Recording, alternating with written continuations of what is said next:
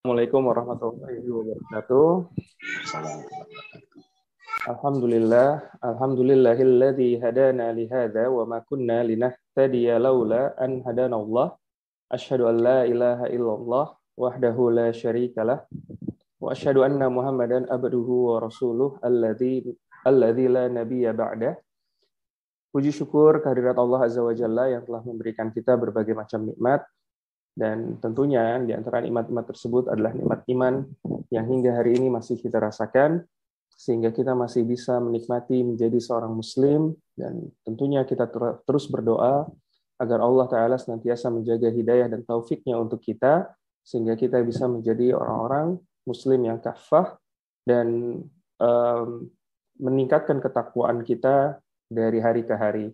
Salat serta salam tidak lupa kita sampaikan kepada Nabi Muhammad Sallallahu Alaihi Wasallam, suri tauladan kita yang telah memberikan pelita bagi cahaya kehidupan manusia dan semoga kita tetap diistiqomahkan untuk senantiasa mengikuti sunnah-sunnah beliau Sallallahu Alaihi Wasallam hingga bertemu dengan beliau di telaga.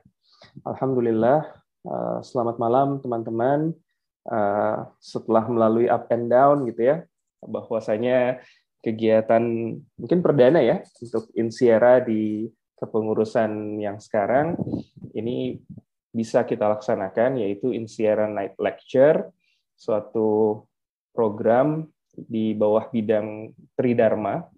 Dan ini merupakan suatu ide yang mungkin sedikit banyak di dipengaruhi atau diilhami oleh adanya Saturday Night Lecture dari Prof. Syed uh, Nakwib Alatas di Malaysia, di mana beliau melakukan sharing terhadap berbagai macam uh, pemikiran-pemikiran uh, beliau untuk perkembangan Islam ke depannya. Dan mengingat uh, posisi strategis Insiera sebagai kawah candra di muka bagi para cendikiawan uh, Muslim di Indonesia khususnya, maka uh, rasanya perlu bagi Insiera untuk menghadirkan suatu forum atau wadah khusus yang mana bisa diisi oleh para para cendikiawan muslim tersebut untuk membahas berbagai macam pemikiran ataupun hasil riset yang baru saja dilakukan.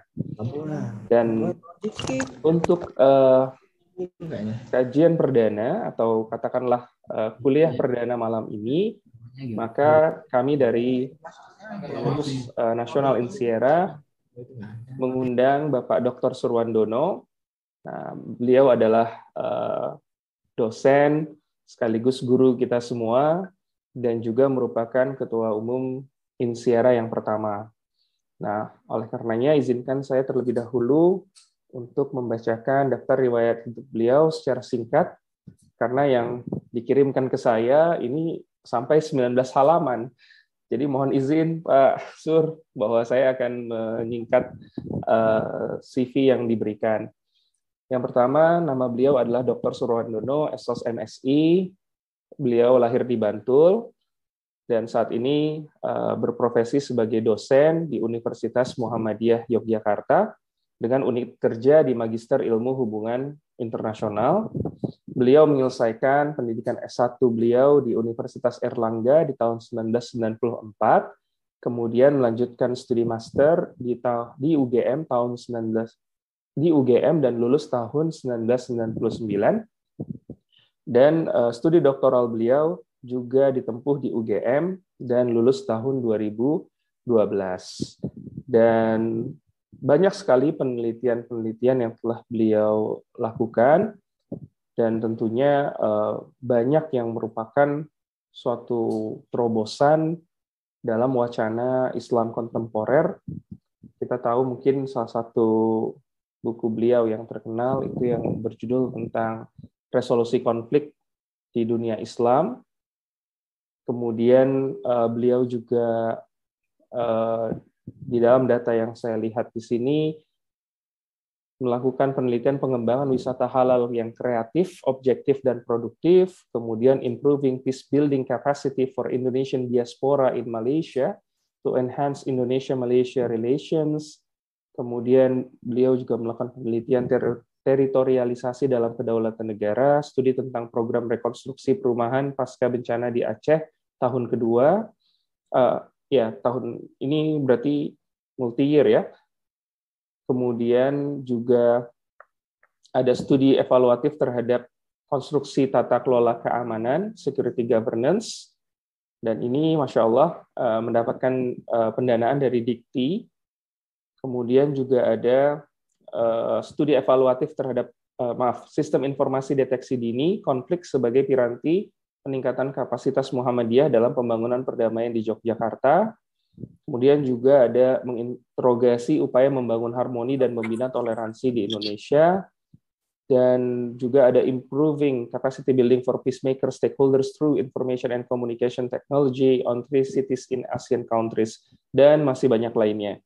Jadi banyak sekali hasil-hasil karya beliau yang uh, kami pikir ini menjadi suatu terobosan yang meneguhkan posisi beliau sebagai salah satu uh, cendikiawan, salah satu pemikir Islam di Indonesia dan kita juga doakan beliau agar dalam waktu dekat uh, permohonan untuk kenaikan pangkat menjadi guru besar dalam bidang hubungan internasional juga bisa uh, diputuskan dan menjadi seorang profesor insya Allah ya. Baik, dan untuk kesempatan pada malam hari ini beliau uh, akan membahas suatu tema yang kami rasa cukup unik dan sangat uh, tepat dilihat dari frame waktu, mengingat uh, insya Allah pekan depan itu adalah tahun baru Hijriah 1444. Nah, ini adalah suatu hal yang sangat strategis dan oleh karenanya uh, ketika beliau men mencoba untuk membahas hijrah dan diaspora dalam Islam, kami pikir ini akan menjadi suatu uh, judul diskusi yang sangat menarik dan mudah-mudahan kami juga ber, mengharapkan kepada kesediaan Pak Sur uh, jika nantinya hasil dari diskusi kita malam ini bisa dituliskan menjadi sebuah uh, artikel walaupun mungkin tidak artikel full yang nantinya akan menjadi uh, bagian dari publikasi di Insiara. Mungkin itu saja pendahuluan dari saya dan mungkin tanpa memperpanjang waktu kepada Pak Surwandono kami persilahkan. Ji, matur nuwun Ustaz uh, Rizky. Assalamualaikum warahmatullahi wabarakatuh. Bismillahirrahmanirrahim. Alhamdulillahirabbil alamin. Salatu wassalamu ala asrafil anbiya'i wal mursalin Muhammadin wa ala alihi wa ashabi ajmain. Allahu Allah Ta'ala fi kitabil karim A'udhu billahi minasyaitonir rajim Bismillahirrahmanirrahim Fa'idha kujatis salat Fantasiru fil ardi wabtaku min fadlillahi Wadkurullah kasir la'alakum tuflihun. Sadaqal adib. Eh, kepada uh, Ustadz Asbi yang kami hormati dan kepada semua rekan-rekan pengurus Insira maupun anggota Insira yang berbahagia Sebelumnya saya mohon maaf selama koordinasi mungkin pertemuan-pertemuan uh, minggu malam saya uh, sering tidak bisa menghadiri. Dua minggu terakhir ini masih uh, terkena uh, katakanlah di di gigi ada bengkak sehingga uh, sulit untuk untuk berbicara. Kemudian di bawah itu terkena wasir sehingga sempat uh, duduknya agak agak agak sulit tapi alhamdulillah ini sudah sekitar lima hari terakhir ini sudah mulai membaik sehingga sudah mulai bisa duduk dengan lebih nyaman. Jadi ketika Mas uh, Anam itu konfirmasi itu masih saya belum bisa menjawab terakhir itu karena khawatirnya tidak uh, bisa duduk ketika membersamai teman-teman. Nah, baru ketika yakin positif saya sudah mulai bisa duduk, saya baru berani menjawab permintaan dari Mas Anam. Sebelumnya Uh, demikian. Baik, eh, teman-teman semua yang berbahagia, uh, saya sebenarnya sedang penelitian tentang diaspora di Indonesia yang mendapatkan uh, hibah dari Dikti ini masuk tahun kedua bersama dengan Mas uh, Ali Maksum untuk tahun ini uh, Mas Ali Maksum dengan kami mendapatkan hibah dari Dikti juga tentang uh, evaluasi diplomasi digital Indonesia dalam konteks artikulasi foreign policy-nya ini juga sedang kita lakukan penelitian. Oke, saya akan langsung masuk ke topik terkait tentang uh, diaspora secara umum. Jadi studi tentang diaspora ketika nanti kita ngacak ya, sebenarnya studi tentang uh, diaspora ketika saya dulu di S1 ya, nah, kita tidak bisa pungkiri diaspora itu sangat lekat dengan katakanlah uh, studi tentang Yahudi. Uh, tulisannya katakanlah Roger Graudi yang bercerita tentang diaspora Yahudi itu sangat mendominasi. Sehingga ketika dulu kita bicara diaspora, seakan-akan kita pasti bicara Yahudi. Lalu kemudian di tahun-tahun 2000 ada fenomena cukup menarik di mana uh, diaspora dari Cina Cina adalah salah satu negara yang memiliki diaspora paling banyak. Dan Indonesia nanti menjadi juga salah satu negara dengan diaspora terbanyak kelima. Setelah katakanlah nanti ada Cina, kemudian ada India, India juga cukup banyak, dan Indonesia itu sekitar nomor lima. Bersama nanti dengan teman-teman dari Filipina. Memang ada karakteristik yang berbeda diaspora Indonesia dengan diaspora India ataupun diaspora katakanlah Cina. Kita tidak bisa pungkiri kalau diaspora Cina itu sampai bisa membuat entitas negara, eh, contohnya katakanlah seperti di Singapura. Kalau diaspora India itu juga tidak bisa kita pungkiri sampai menjadi entitas kekuatan partai politik di sebelah negara, salah satunya yang ada di Malaysia itu populasi India cukup banyak sehingga jadi kelompok politik. Kalau di Indonesia kita tidak bisa pungkiri diaspora itu masih berserakan belum dikelola. Sehingga saya melakukan penelitian tentang manajemen pengelolaan eh, diaspora Indonesia. Karena jumlahnya sangat banyak tetapi tidak dikelola secara serius oleh pemerintah Indonesia walaupun sempat dikelola oleh Pak Dino Pati Jalal itu kan katakanlah diaspora diaspora yang berhasil diaspora-diaspora yang diminta bantuannya untuk turut membantu pembangunan Indonesia. Sedangkan diaspora yang tidak berhasil, yang bekerja di sektor pribadi itu cenderung tidak bisa dikelola dengan baik. Itu sedikit pengantara. Saya akan masuk kepada uh, studi tentang diaspora dan bagaimana posisinya nanti tentang uh, kaum muslimin ya. Jadi saya mengumpulkan dari katakanlah uh, websitenya scopus.com dengan menggunakan kata kunci diaspora secara umum. Saya tidak membatasi tahunnya, saya tidak membatasi area jurnalnya, termasuk afiliasi penulisnya. Itu saya saya buka semuanya, tidak ada yang restriksi. Kita mendapatkan sekitar katakanlah 17.000 artikel, 17.000 tulisan tentang diaspora yang kemudian ketika kita lacak dengan menggunakan uh, fast viewer, kita kita mengolah, kita tidak bisa pungkiri kemudian ada satu variabel terkait tentang katakanlah yang kita sebut dengan uh, teman-teman Muslim. Nanti kita bisa lihat nanti populasinya uh, ada di sini nanti. Ini ada sedikit kata Muslim di sini kita masuk ke dalam uh, slide berikutnya akan tampak. Nah ini ketika kita bicara diaspora Muslim dan diaspora, ketika kita lacak, kita tidak bisa pungkiri ketika kita berbincang tentang uh, diaspora bagi seorang Muslim, maka kecenderungan sebagian besar diaspora muslim itu sebagai katakanlah migran worker. Jadi orang muslim itu melakukan diaspora itu sebagian besar sebagai upaya untuk melakukan mencari nafkah, ibaratnya seperti itu. Hingga tadi saya mengutip salah satu uh, surat ayat dalam surat Al-Jum'ah yang sedikit banyak bercerita untuk bagaimana kita nanti uh, mencari mencari rizki katakanlah bukan Mas Rizky Himawan sih mencari rizki. Karena ada ada juga ayat yang lain yang juga cukup menarik. Kalau yang satunya itu mencari rizki, uh, yang satunya nanti ada dalam surat An-Nahl itu ada ayat yang juga bercerita cukup menarik dengan menggunakan diksi yang sama.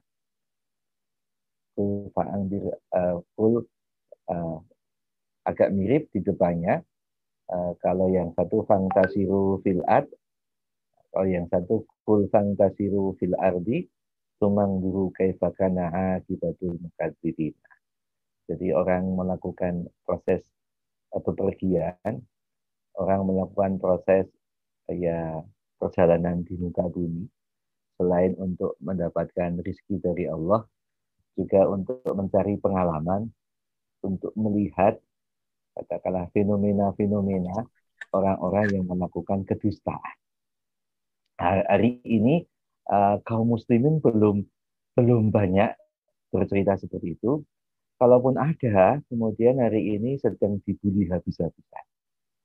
Jadi agensi kaum muslimin, kita sebut aja filantropi Islam, terakhir dalam konteks ya dua sampai satu bulan terakhir, uh, ya mohon maaf dengan plus minusnya, uh, aksi tepat tanggap itu mengalami uh, dekadensi uh, citra yang sebelumnya sedang mau menjalankan katakanlah uh, perintah dalam Al-Quran untuk kita bisa menyaksikan bagaimana orang-orang yang melakukan kedustaan tersebut tetapi mungkin karena ada problem uh, tidak akuntabelnya kemudian hari ini uh, ACT mendapatkan uh, cobaan sangat serius sehingga muncul tagline yang agak agak miris dengan tagline aksi cepat pilot. Ini fenomena pertama yang kita bisa temukan. Kita juga tidak bisa pungkiri, katakanlah ketika kita berbincang tentang diaspora muslim, itu ternyata ada fenomena variabel yang kita sebut dengan variabel anak. Diaspora muslim ini melahirkan karena para anak-anak yang tidak memiliki keluarga negara. Jadi kita tidak bisa pungkiri seumpama diaspora Indonesia di Malaysia, diaspora Indonesia yang ada di Filipina, itu banyak kemudian hilang keluarga negaraan. Dan kita juga nggak bisa pungkiri para anak-anak diaspora Bangladesh yang ada di Myanmar, itu juga kemudian tidak memiliki keluarga negara. Ini sudah banyak ditulis di tahun-tahun sebelumnya. Yang juga cukup menarik di sini kita tidak bisa pungkiri ini ada ada narasi diaspora Muslim itu terkait dengan salah satu variabel teroris. Dan ini ternyata dalam konteks artikel-artikel jurnal, ketika kita bicara tentang diaspora dan Muslim, Nah, isu terorisme itu menjadi sesuatu yang seksi. Sehingga bepergiannya kaum muslimin itu, uh, mohon maaf, uh, akan berkait erat dengan katakanlah praduga-praduga aktivitas-aktivitas teroris. Ini yang juga uh, perlu kita bersama untuk melakukan proses uh, muhasabah. Kita tidak bisa pungkiri katakanlah proses uh, safarnya kaum muslimin itu yang sebenarnya kalau kita bicara tentang proses safarnya kaum muslimin sebenarnya kalau di tingkat internasional katakanlah jumlahnya sangat banyak tetapi nggak nggak banyak orang menulis tentang safarnya orang uh, muslim yang melakukan umroh pilgrim ke Mekah ataupun haji yang jumlahnya sangat banyak tapi banyak studi yang menunjukkan bahwasanya proses kepergiannya kaum muslimin itu kemudian uh, dikaitkan dengan stigma-stigma terorisme. Nah, kita tidak bisa pungkiri juga dalam konteks sejarahnya hijrah Rasulullah, apakah hijrah yang di awal, katakanlah seumpama pada periode sebelumnya, kaum muslimin di bawah pimpinan Jafar bin Abi Thalib melakukan hijrah, melakukan uh, bepergian ke katakanlah ke Ethiopia ketika itu ke Habasyah yang juga kemudian uh, diiringi dengan diksi yang dibuat oleh katakanlah kaum kafir Quraisy yang di sana. Kemudian uh, ada tokoh yang kita kenal dengan uh, Amr bin As. Sebelumnya adalah salah satu orang penggawa penting diplomat kaum Quraisy yang yang luar biasa ketika itu. Yang menempatkan uh, kaum muslimin yang melakukan hijrah ke Habasyah itu posisinya dianggap sebagai kelompok-kelompok pengganggu keamanan di di katakanlah uh, Mekah dan juga berpotensi mengganggu keamanan di katakanlah di uh, negerinya Pak uh, mau kukis katakanlah ketika itu. Sehingga kemudian itu diabadikan dalam sebuah surah uh, Ali Imran ya ketika kita membaca ayat terakhir dari surat Ali Imran itu. Itu asbab anuzulnya itu uh, terkait tentang uh, kesabaran. Kesabaran untuk siapa? Itu kesabaran untuk katakanlah Raja Mufukis yang mendapatkan bullying yang mendapatkan tekanan serius karena memberikan pembelaan kepada kaum muslimin. Uh, dengan sebuah statement bahwasanya pernyataan Al-Quran tentang uh, posisi Nabi Isa itu tidak banyak berbeda dengan pendapat-pendapat katakanlah kaum uh, katakanlah Nasrani sehingga kemudian itu membuat katakanlah uh, Pak Jafar bin Abi Talib dan rombongannya mendapatkan suara politik. Nah, kita juga tidak bisa kita pungkiri begitu Rasulullah juga melakukan hijrah dari Mekah ke Madinah itu juga mendapatkan stigma yang luar biasa. Jadi katakanlah kita tidak bisa pungkiri banyak berita yang memberikan informasi kepada masyarakat eh, Madinah yang menarasikan bahwasanya eh, kaum muslimin ini akan menjadi faktor yang membuat ketidak katakanlah eh, nyamanan Madinah katakanlah. Kita tidak bisa berdiri katakanlah nama Madinah sebelumnya adalah namanya Yastrib secara makna literalnya Yesrib itu sebagai ya mohon maaf daerah yang terkutuk daerah yang terlaknat daerah yang pokoknya sebagai kalau dalam istilahnya Ustadz Rudi mungkin uh, gontor itu dari kata katanya saya tak tahu persis. Gontor itu dari uh, Kiroto Boso uh, gon kotor tempat yang kotor gitu sehingga kemudian uh, Trimurti itu, itu berniat untuk menjadikan Gontor sebagai Madinah sebagai sebagai wilayah yang jadi uh, ya penerang bagi bagi Ponorogo. Kita tidak tidak bisa kita pungkiri uh, kedatangan kaum muslimin di Yastrib nanti di dipersonifikasi akan membuat Yastrib semakin terpuruk. Semakin terpuruk sehingga berita-berita bohong ini memang disampaikan secara sangat luar biasa. Tapi Rasulullah kemudian uh, mengubah nama Yasrib menjadi Madinah dari sebuah kota yang uh, terkutuk, kota yang tidak bisa berkembang, kota yang yang buruk rupa, buruk buruk penduduknya, buruk tata kelolanya menjadi Al-Madinah Al-Munawwarah sebagai uh, kota yang terang benderang dan mencerahkan. Dan pada hari ini memang kita bisa saksikan Madinah sebagai sebuah kota yang sangat tertib, sebagai kota yang sangat bersih, dan sebagai kota yang ramah. Uh, sangat berbeda kalau teman-teman nanti mungkin uh, pergi ke Mekah itu uh, Madinah sebagai civilized katakanlah city katakanlah. Tapi kalau di Mekah kita nggak bisa pungkiri masih ada banyak hal-hal yang memang belum maksimal. Kita juga tidak bisa pungkiri dalam konteks uh, studi di uh, scopus.com uh, ya kita tidak bisa pungkiri uh, diaspora kaum muslim ini posisinya ada variabel school. Jadi kita tidak bisa pungkiri sebenarnya diaspora muslim itu juga katakanlah banyak dari unsur hal-hal yang baik untuk tolatul ini. Nah, dan jumlahnya ini karena kalau dalam konteks viewer semakin bergerak ke kanan di sini, maka semakin update.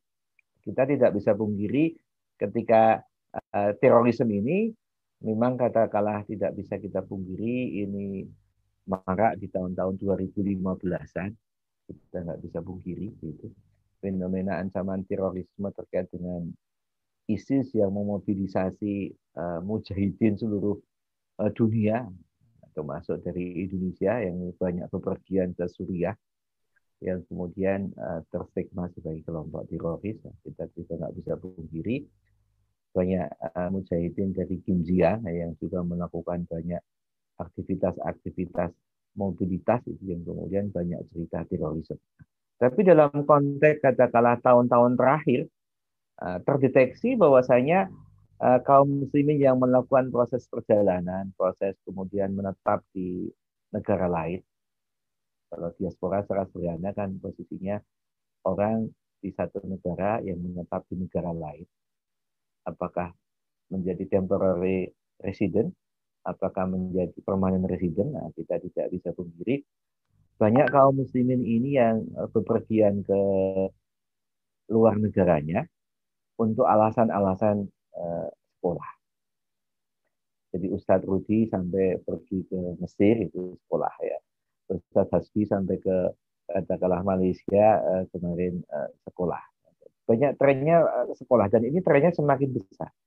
Nah, ini hemat saya perlu nanti dikelola lebih jauh. Agar jangan sampai cerita yang ini jadi dominan dan cerita yang ini juga jadi dominan. Jadi kita perlu menunjukkan bahwasanya diaspora muslim itu sebagai diaspora yang well educated sehingga nanti akan uh, berfungsi katakanlah kalau kita ambil dalam surat uh, katakanlah yang Al-Furqan wa ibadur rahman alladzina yamsuna 'alal ardi hauna wa idha khatabahumul jahiluna qalu salama. Dalam surat Al-Furqan ini banyak uh, ulama mentafsirkan jadi seorang muslim yang melakukan proses perjalanan keluar wilayahnya itu dalam konteks untuk melakukan proses pembelajaran dalam konteks proses menyampaikan tablik sehingga posisinya bepergiannya kaum muslimin itu posisinya hijrahnya kaum muslimin nanti itu posisinya untuk memberikan manfaat kepada katakanlah uh, masyarakat di uh, luar wilayah. Kita tidak bisa pungkiri tren ini mulai muncul di sini. Tren ini mulai muncul yang ini perlu kita kapitalisasi. Karena selama ini uh, kalau seumpama kita menafsirkan tadi banyak yang menggunakan uh, tafsir bahwasanya kaum muslimin keluar negaranya itu kontaknya hanya untuk mencari rizkinya Allah.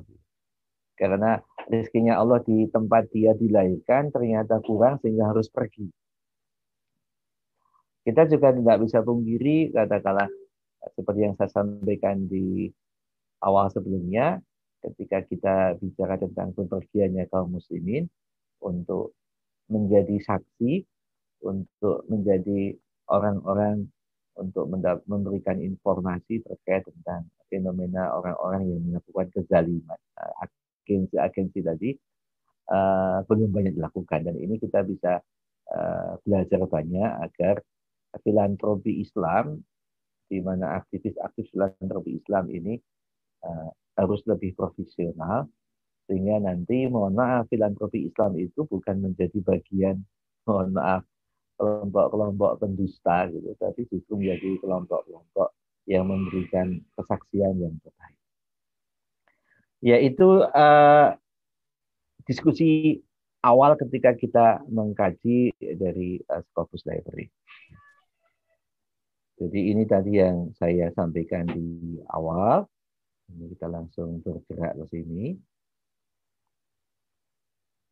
Jadi kita tidak bisa pungkiri ini yang perlu nanti kita kelola lebih jauh. Mungkin Insira bisa melakukan aktivitas lebih jauh.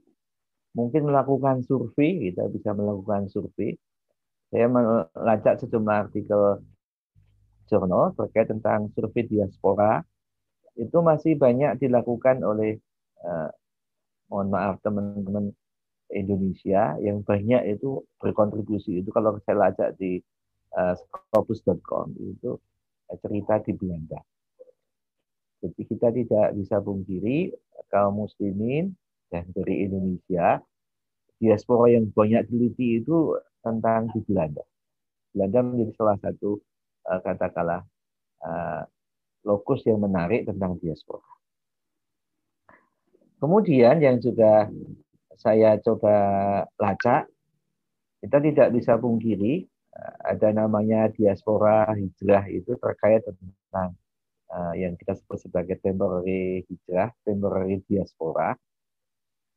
Cerita tentang traveling sama education, tapi kita tidak bisa pungkiri ya mohon maaf uh, hari ini kita tidak bisa mendapatkan data yang yang pas ya. Jadi uh, ada sebuah diksi yang memang tidak mengenakkan. Ya dari kelompok-kelompok yang mungkin tidak suka terhadap aktivitas bepergian kaum muslimin ke ya mohon maaf kita sebut aja ke Mekah sama Madinah. Sehingga ada stigma yang mengatakan kaum muslimin ini dianggap melakukan proses pemborosan aset-aset ekonomi karena melakukan perjalanan ke wisata yang yang sebenarnya tidak produktif.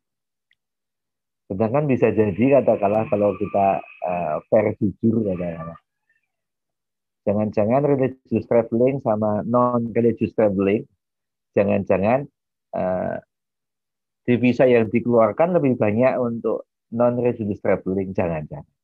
Cuma hari ini katakanlah untuk yang non traveling sulit dilacak datanya. Tapi kalau seumpama kita mau melacak berapa banyak pengeluaran kaum muslim Indonesia pergi ke Mekah sama Madinah, gampang dilacak datanya. Akan ketemu mungkin triliunan.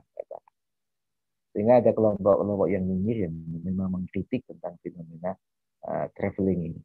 Terkait uh, Muslim traveling untuk katakanlah uh, religious purposes. Yang education ini juga perlu nanti kita kita bisa kasih lebih jauh sehingga kemudian Eh, kita bisa berperan menjadi ibadur rahman ya. Diaspora tapi seorang ibadur rahman itu seorang diaspora yang berpergian dari luar wilayahnya itu secara secara serius dan sistematis. Kita tidak bisa pungkiri memang ya kalau teman-teman dari jamaah tablik kita nggak bisa pungkiri ya memang ada banyak teman-teman tablik itu melakukan proses menjadi diaspora dalam konteks temporary yang melakukan kurus-kurutnya ke internasional. Nah, tetapi nanti kita juga perlu kasih lebih jauh apakah kurutnya teman-teman tablik ini uh, efektif atau tidak efektif. Belum banyak dikaji. Hari ini orang boleh mengkaji kalau seumpama kita melacak studinya Pak Bill Persing, Pak Bill itu salah seorang uh, profesor dari NUS itu sedang senang meneliti tentang uh, jamaah tablik uh, dengan plus minusnya. Karena ada kelompok-kelompok tertentu yang mencoba mengkaitkan jamaah tablik ini dengan aktivitas-aktivitas terorisme. Ada yang mengkaitkan, tetapi sampai sejauh ini belum bisa memberikan bukti yang kuat untuk menjadikan uh, jamaah tablik sebagai agensi-agensi. Kita nggak bisa pungkiri meskipun kalau kita belajar di Asia Tengah, kita belajar di Uzbekistan, uh, jamaah tablik itu uh, sudah dimasukkan sebagai kelompok-kelompok uh, yang pro kepada aktivitas-aktivitas radikalisme. Sehingga kemudian jamaah tablik bersama dengan Hizbut Tahrir, bersama dengan Islamic Movement Uzbekistan itu dianggap sebagai uh, organisasi terlarang. Maka dalam konteks ini kita perlu belajar lebih jauh tentang bagaimana cara nanti kita melakukan proses uh, publik, proses penyampaian informasi tentang Islam itu di luar katakanlah negara kita secara lebih baik. Yang kedua, ketika kita bicara studi tentang permanent hijrah, kita uh, tidak bisa kita pungkiri kalau seumpama kasus di Indonesia ketika kita belajar di Suriname, kita belajar di Guyana, jadi kita nggak bisa pungkiri Suriname sama Guyana itu negara yang ada di kawasan eh, Amerika Latin dan menjadi anggota OIC. Jadi ketika itu saya coba lacak loh. Oh ternyata uh, Suriname sama Guyana itu ternyata anggota OIC. Nah, ketika kita lacak, oh ternyata ini tidak lepas dari katakanlah populasi dari Suriname, Suriname sama Guyana itu muslimnya cukup banyak. Nah, muslim itu diwarisi dari mana ya? Diwarisi dari Indonesia. Nah, ini perlu dikelola secara lebih lebih baik. Karena hari ini yang paling banyak dominan itu Muslim itu sebagai refugi. Jadi total refugi di dunia itu majority itu datang dari dunia Islam. Yang hari ini yang agak mengerikan, sejumlah negara-negara Muslim justru tidak meratifikasi konvensi perlindungan pengungsi. Ya, Nah, karena real kalau seumpama kita bercerita jumlah refugi di dunia itu majority disumbang oleh kaum muslimin. Apakah refugi yang ada, mohon maaf, yang ada di sekitar Asia Tenggara itu juga dari kaum muslimin. Refugi yang berasal dari Afghanistan, dari Iran, dari Suriah, dari Kurdi itu majority juga kaum muslimin. Ini yang jadi jadi pelik. Ternyata katakanlah uh, bepergi, bepergiannya kaum muslimin itu dalam konteks menjadi permainan hijrah.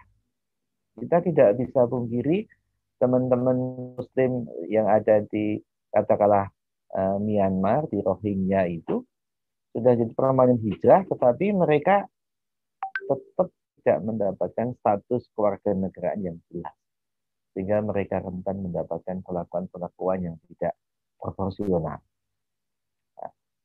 Perlu sebuah kebijakan-kebijakan untuk naturalisasi, semua. Kita tidak bisa pungkiri nah, kebijakan naturalisasi di dunia Islam itu uh, uh, cenderung agak agak regresif, tidak tidak posisinya tidak progresif.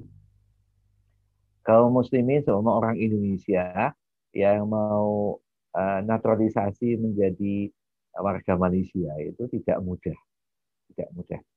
Demikian juga katakanlah seumpama uh, teman-teman dari katakanlah sejumlah negara konflik itu, jadi ada temannya Ali Maksum itu bercerita, Pak Maksum itu bercerita dengan saya, ya banyak teman-teman dari Iran, teman-teman dari katakanlah Afghanistan itu sekolah ke Malaysia itu berkali-kali. Untuk apa? Untuk kemudian bisa mendapatkan visa. Karena apa? Kalau kembali ke negara masing-masing, situasinya uh, tidak nyaman, konfliktual. Maka kemudian sudah dapat master, ngambil master lagi di tempat lain. Sehingga bisa jadi sekolah itu sampai 20 tahun dengan gelar yang yang sangat panjang semata-mata itu hanya untuk mendapatkan visa tinggal.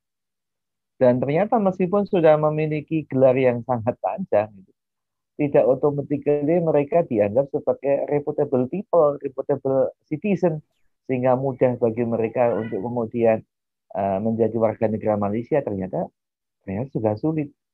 Meskipun mereka sudah terbukti sebagai katakanlah sebagai effective people, sebagai katakanlah orang-orang yang reputable people, tapi ternyata proses naturalisasi itu juga sangat, sangat sulit.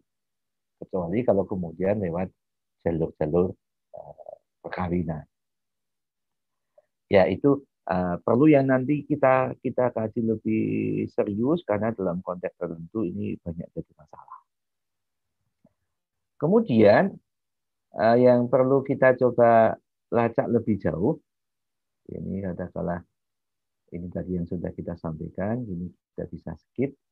Saya akan mencoba uh, melihat, kalau tadi yang saya sebut surat Al-Furqan, ini uh, bercerita tentang, katakanlah, istilah di Quran itu ada dua istilah tentang uh, istilah orang itu bepergian. Yang satu itu dengan makna-makna yang positif dan satu dengan makna yang negatif. Yang satu dengan diksi Quran menggunakan istilah mahjuro. Gitu.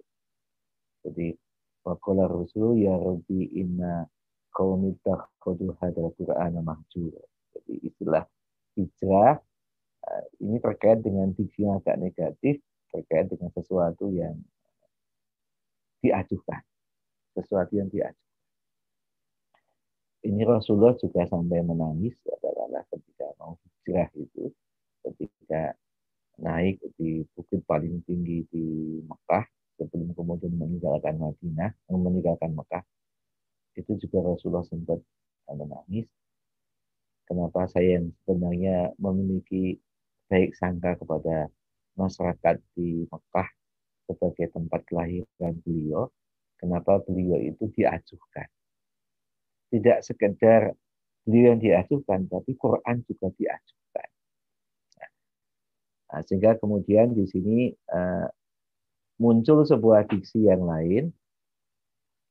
Jadi kata hijrah di sini dengan sebuah uh, diksi wasbir ala ma yakuluna wahjurkum hajran jamila. Jadi dan bersabarlah terhadap apa yang kita ucapkan dan jauhlah mereka dengan cara-cara yang baik.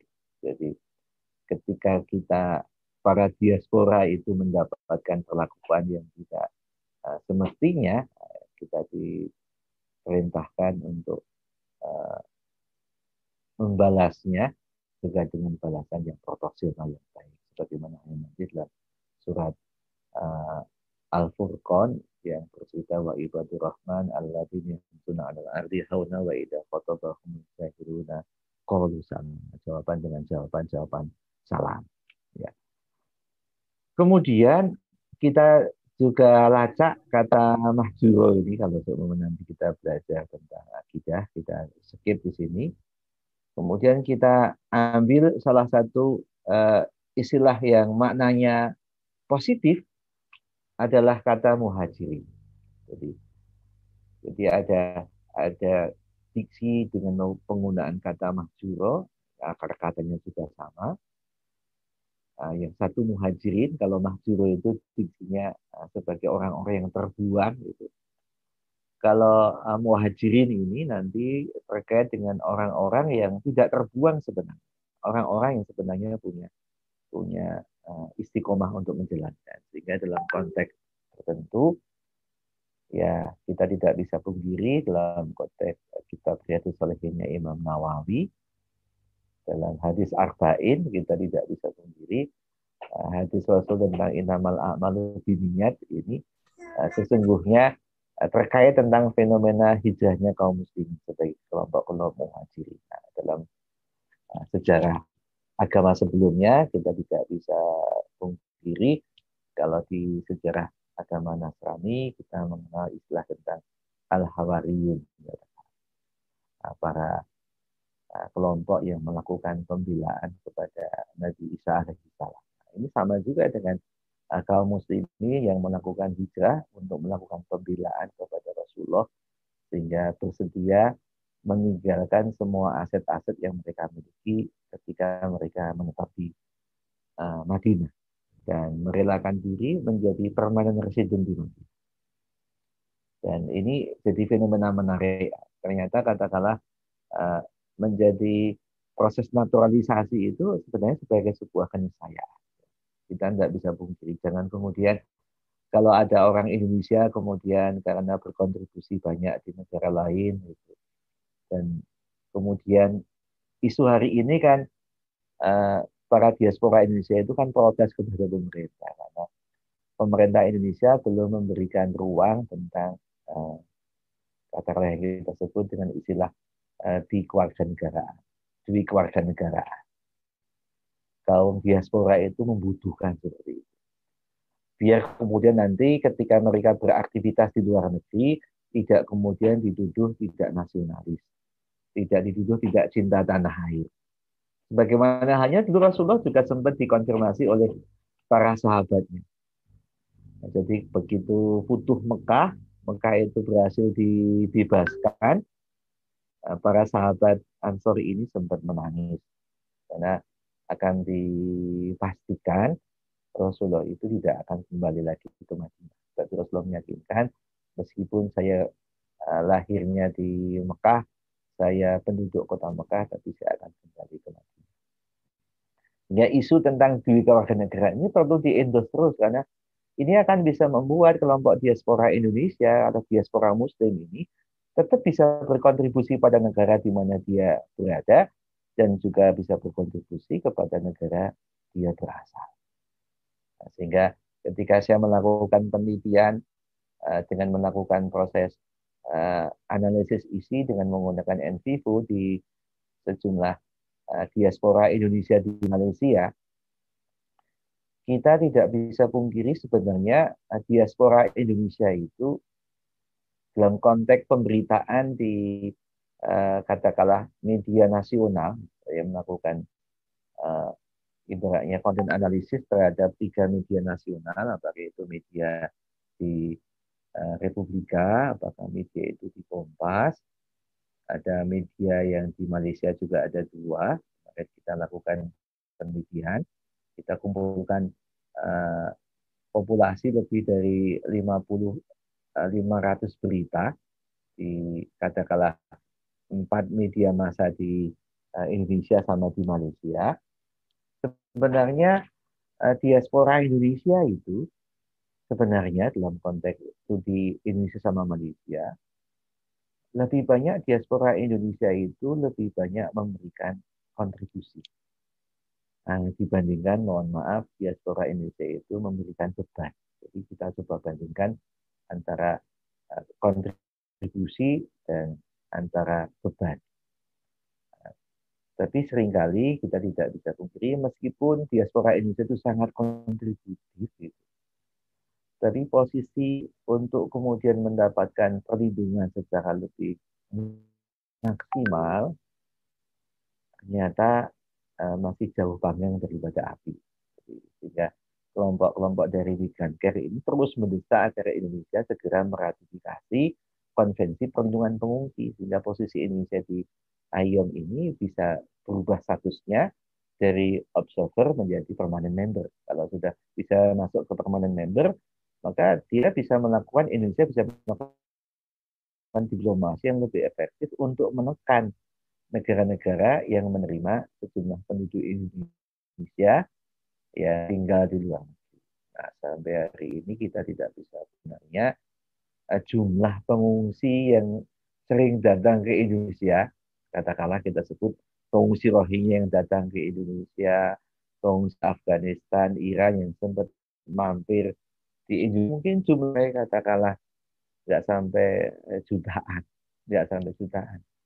Tapi penduduk Indonesia karena di sektor-sektor yang berbahaya, karena majority diaspora Indonesia yang ke luar negeri itu bekerja di sektor yang disebut dengan sektor 3D sektor yang uh, pekerjaan-pekerjaan yang tidak layak, pekerjaan-pekerjaan uh, kotor itu, pekerjaan yang berbahaya, dangerous, sama pekerjaan yang tidak manusiawi dengan nama istilahnya degrade.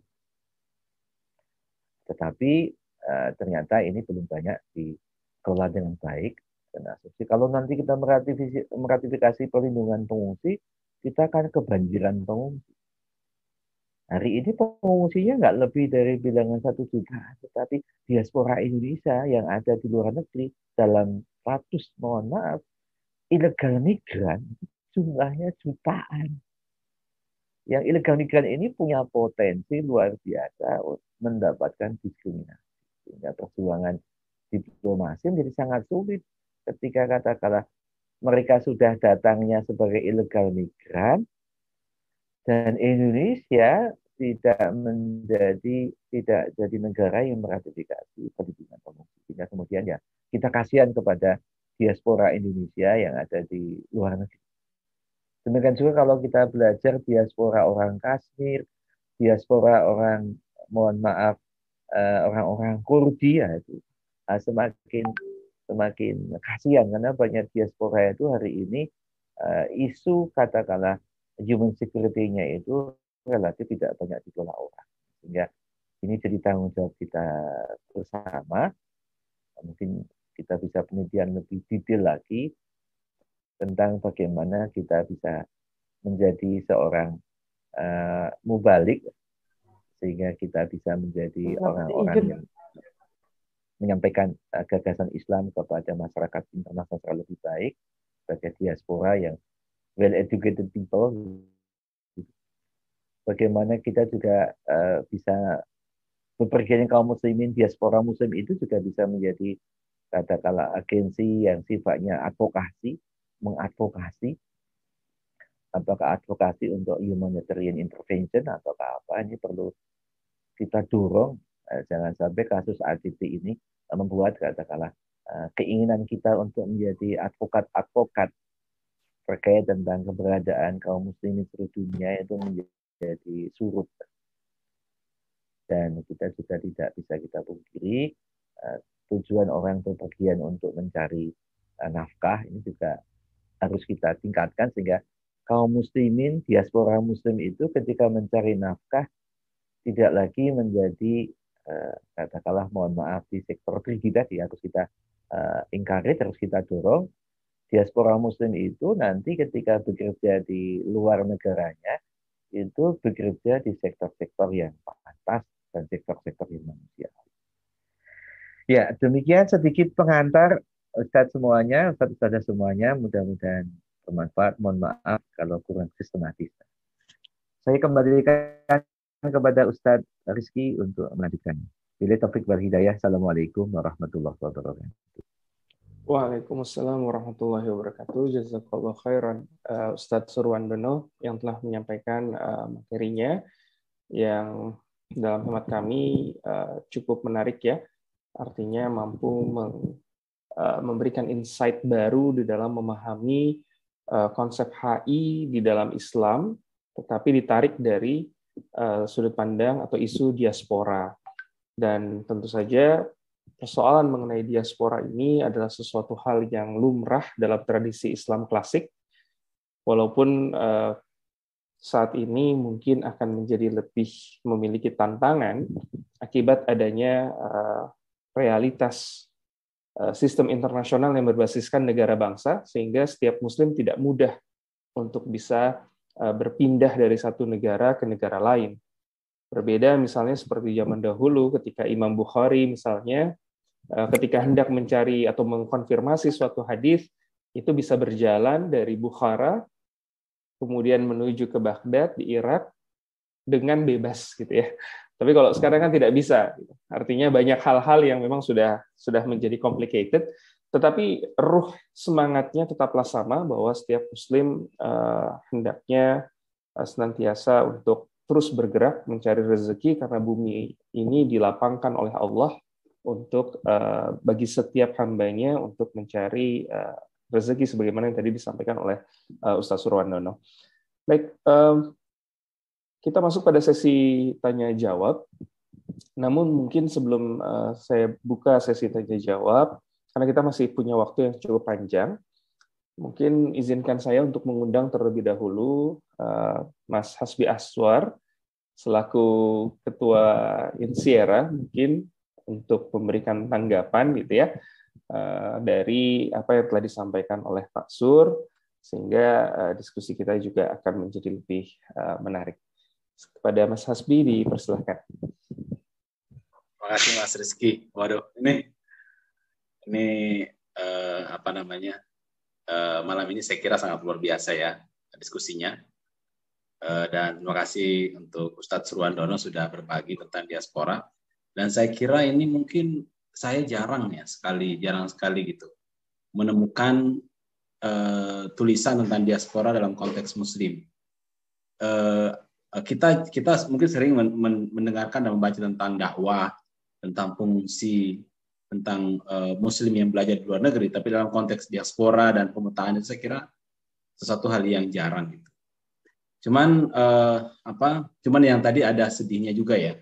Mungkin uh, kalau bicara mengenai diaspora Muslim itu kan ada kisah sedih dan ada kisah yang uh, yang apa membuat kita senang gitu. Makanya dalam aspek dakwah penyebaran Islam misalnya kan Eh, saya kira banyak dai-dai internasional Muslim sekarang yang saya kira sudah memiliki nama dan sudah berhasil eh, mengajak banyak orang ke Islam misalnya gitu. Itu mungkin bagi kita satu hal yang mengembirakan. Tapi di sisi yang lain isu-isu terorisme misalnya, eh, termasuk juga tadi sudah disampaikan oleh Ustadz Sur misalnya isu pengungsi ternyata sebagian besar pengungsi karena konflik itu adalah Muslim gitu. Itu hal yang sangat menyedihkan buat kita. Uh, saya saya kira ini adalah sebuah riset yang menarik ya, Ustaz. Dan ditunggu nanti hasil risetnya kira-kira nanti. Uh, di Insera mungkin dalam bentuk artikel ditulis di di jurnal Insera misalnya atau di uh, apa artikel pendek di di website Insera juga. Cuma sekalian saya izin bertanya Mas Rizky ya sekalian ya. Eh, apa namanya? Kita kita akan tahu ya karena eh, kita kita akan tahu bahwa eh, Muslim itu kan memiliki corak yang berbeda-beda eh, tergantung latar belakang eh, asal mereka gitu. Eh, orang Indonesia itu dikenal seperti ini misalnya di luar negeri. Orang Arab itu dikenal seperti ini di luar negeri. Orang Pakistan itu dikenal seperti ini.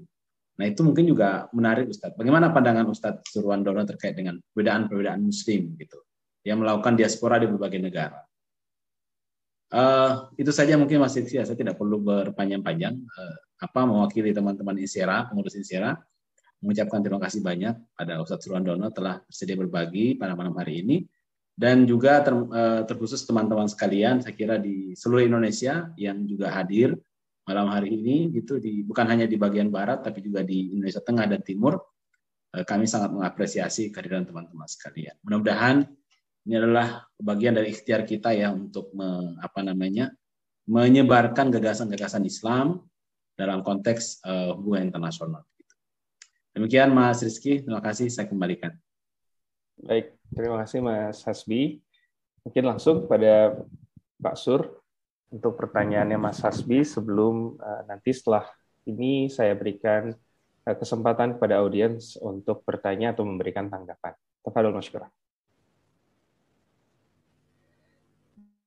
Zik, Madurnun Ustaz Hasbi ya. Uh, untuk konteks ini sebenarnya saya belum melakukan penelitian secara detail untuk tata keragaman diaspora. Memang yang sedang saya teliti hari ini tentang uh, diaspora Indonesia ke Malaysia. Uh, juga bukan langsung uh, dengan uh, Muslim ya tapi memang trennya bisa pungkiri katakanlah. Dalam konteks klaster uh, diaspora Muslim itu ketika saya lacak dari studinya Scopus tadi kita tidak bisa pungkiri. Memang kita belum melakukan identifikasi, belum ada penelitian yang menarik tentang bagaimana diaspora uh, Muslim dari Pakistan semua. Tapi kalau semua kita lacak sejumlah isu menarik, semua contohnya diaspora uh, Mesir ke katakanlah ke Perancis kita sebut aja katakanlah cucunya Hasan al Banna Tarik Ramadan. Nah, itu kan kita tidak bisa pungkiri kemudian Eh, memberikan citra positif. Meskipun kemudian begitu citra positifnya tarik Ramadan, kemudian dihabisi. Tarik Ramadan itu dihabisi. Karena sudah menjadi reputable people itu, ah, kemudian dihabisi dengan isu-isu ya mohon maaf asusila ya katakanlah sehingga kemudian nama beliau kemudian jadi jadi hancur. Kita tidak bisa pungkiri memang. Ada juga sejumlah penelitian yang juga menarik. Hari ini saya sedang mau menulis jurnal tentang katakanlah uh, diaspora Muslim Indonesia di UK itu. Uh, kita menulis tentang diplomasi masjid. Karena yang saya bimbing ini mungkin aktivis dari Nahdijita. Nanti kalau ini publish bisa jadi saya diprotes oleh teman-teman UMI. Lu kok tidak menulis katakanlah peran uh, diplomasi publik uh, Muhammadiyah karena yang yang teliti itu peran diplomasi masjid uh, Nahdlatul Ulama di Inggris ya.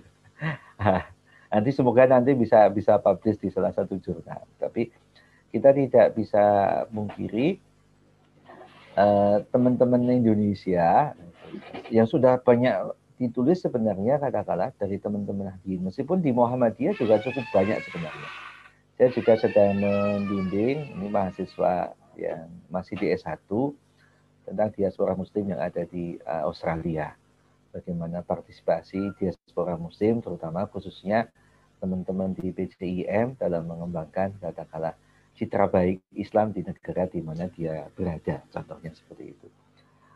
Ini nanti memang perlu dikaji lebih jauh sehingga uh, corak yang ada dalam tulisan di Scopus itu menjadi jauh lebih berwarna. Karena hari ini kita tidak bisa pungkiri ternyata klaster besar ketika kita belajar diaspora yang dikaitkan dengan Muslim itu isunya hanya isu kekerasan dan isu mohon maaf katakanlah mencari nafkah atau mengais nafkah di negara orang lain yang ya bukan dalam konteks mereka sebagai orang-orang yang uh, bekerja di sektor-sektor yang bermartabat. Nah, sehingga kemudian citra ini yang memang jadi perlu nanti kita kaji lebih jauh. Uh, jangan sampai katakanlah kaum muslimin yang berdiaspora itu sebagai uh, the lesser people, the lesser men gitu katakanlah. Karena hari ini yang terjadi justru seperti itu. Kita harus mengubah stigma bahwasanya diaspora muslim di mana pun itu. Sehingga nanti kita berharap mungkin 20 tahun lagi ketika kita menggunakan uh, Scopus gitu, uh, cerita terorisme itu sudah hilang gitu. Cerita tentang migrant worker sudah hilang. Karena hari ini trennya memang sama. Uh, seumpama katakanlah seumpama teman-teman diaspora muslim dari katakanlah Maghribi dari kawasan Afrika Utara ketika mereka pergi ke Eropa, ya mohon maaf mereka bekerja di sektor-sektor 3D. Bukan sektor-sektor yang bermartabat. Trennya memang seperti itu.